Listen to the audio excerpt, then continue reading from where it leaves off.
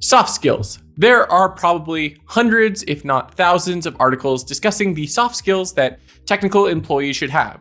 Whether you're a software engineer or a data engineer, everyone seems to say the same thing in terms of what soft skills are needed. But here's the thing some soft skills that might be highly touted in one company might get you fired in another company. Fired.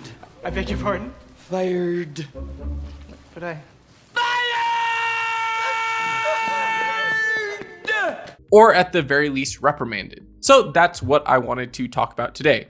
I wanted to talk about some of the soft skills that at Facebook might get you promoted, whereas in other companies, I've literally been reprimanded for the exact same kind of actions and bias that I had. So let's talk about some of these soft skills and what they are. Some are going to be, again, more focused on the like reprimanded in one company, promoted in another, whereas others will be more general and uh, there will also be one of a little more of a humorous sense. But let's dive into a subset of ownership and talk about treating every problem like your problem. This is something that I think is touted a lot at Facebook, right? Like if you see a problem, whether it's in a code base or just a process or something, there is some encouragement for us as employees to kind of try to fix it, right? Like if you see some issue in a code base or you think there's a better way of doing something, and even if it's not part of your team's responsibilities, there might be some need for you to step in and fix it.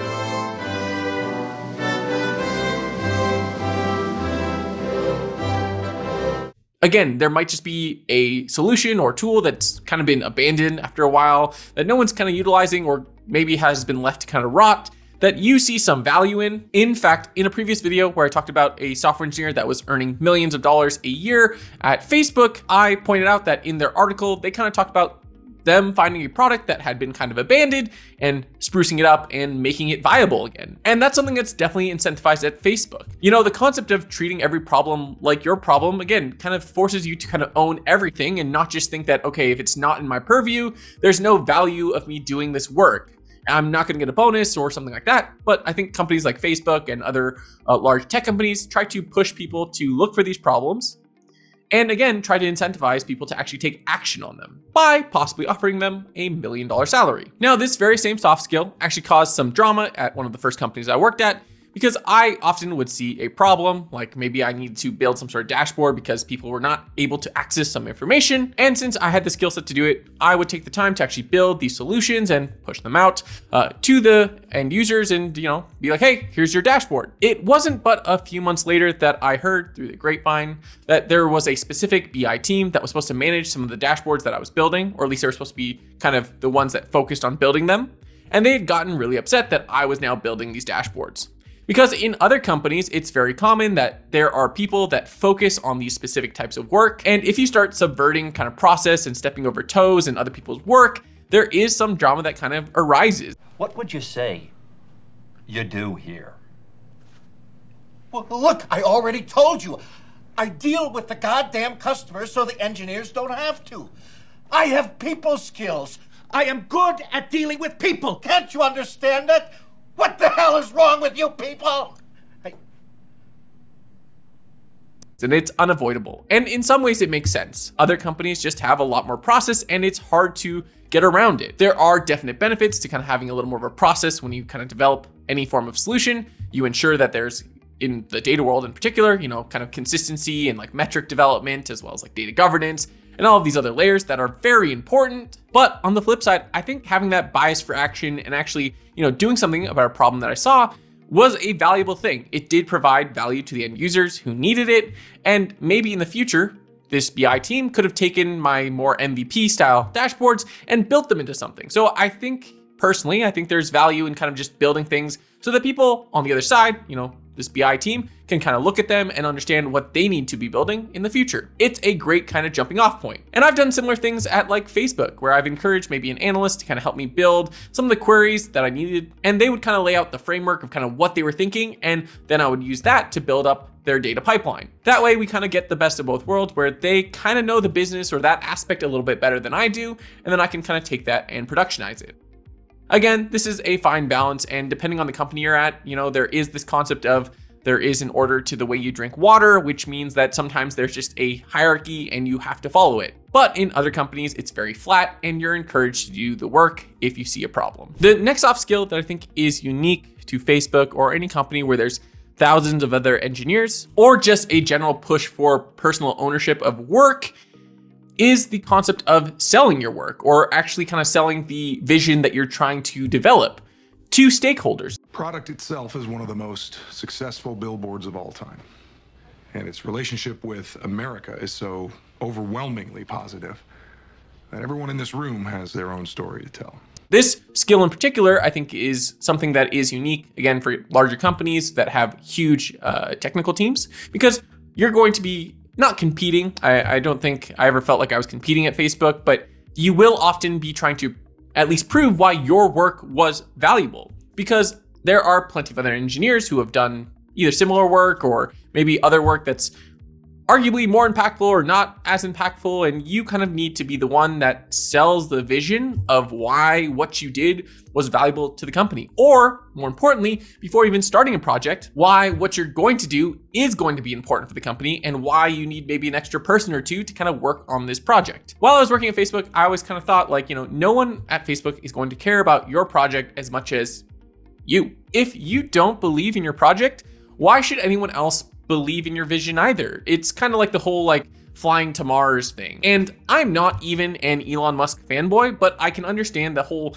drive and need to kind of sell this vision of living on Mars. If he doesn't believe it with his whole heart, no one else is going to believe it. He is arguably stating the impossible. He is arguably fighting for something that will not happen. And we are all sitting here wondering what is the value? In the same way, you know, whatever project you're doing at your company, whether it's Facebook or another one, if you don't wholeheartedly believe in it, you're not going to get the resources required or at the very least, when it's time for promotions, you're not going to get people to kind of support you and want to say, like, yeah, this work was super valuable because if you don't believe it, how are they going to see the value? So, being able to craft a story about your work or future project and the value it is driving or will drive in the future is super valuable. It's super impactful for you, as well as ensures that, again, in the whole promotion cycle at Facebook, you are on the right footing. So, in order to do this, again, you need to start out with just believing in whatever project it is.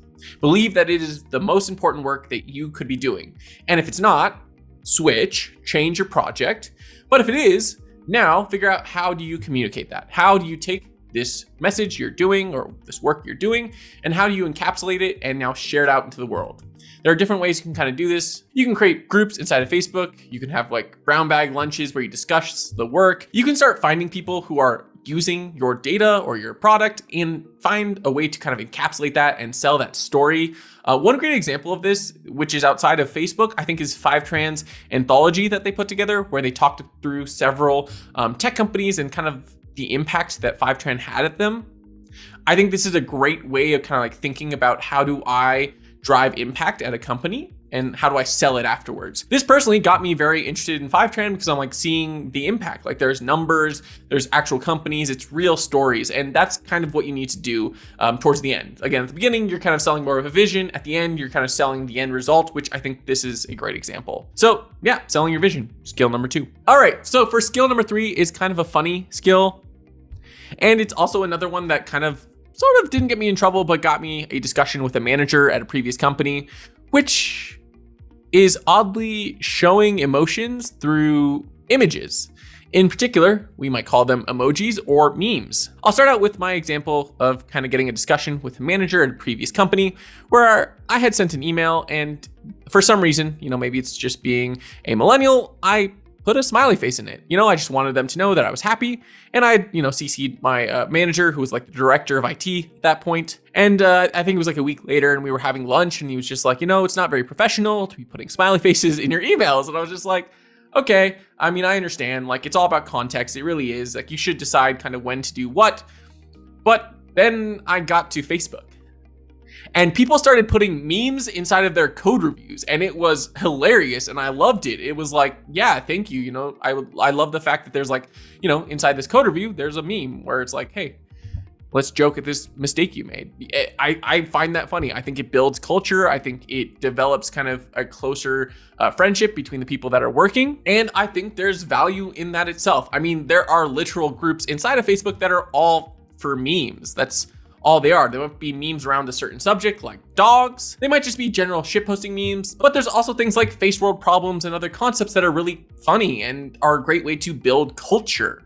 And again, create more of a tight knit group because everyone's kind of laughing at the same jokes. And I think that's pretty funny because, again, going from a smiley face in an email is unprofessional to literally putting like memes into my code reviews or into my like test cases for when I was just doing like a small change, like changing the ownership of a pipeline over to someone else. I might just put a quick meme like, there is no plan into my test plan because I had no plan. It was like, well, I literally just changed the name of who owns this pipeline. So memeing can be a little bit of a fun skill you can have at companies like Facebook where there's kind of this encouragement to grow culture in other ways other than just work.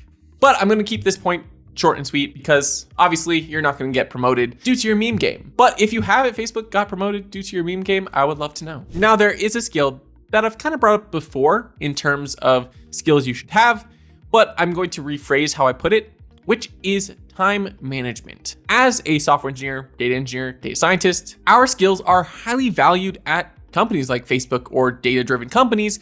And that means everyone wants a piece of your time. Everyone. People that don't even work on your team or maybe have nothing to do with the work that you're doing will reach out and ask for help if they just need access to a table or if they need to work with some bit of data that you've touched before. They all want your help. And the more you provide to them, the more they're going to take. It's just how it works, right? They don't understand necessarily what's on your plate, and everyone kind of has blinders on to finishing their own work.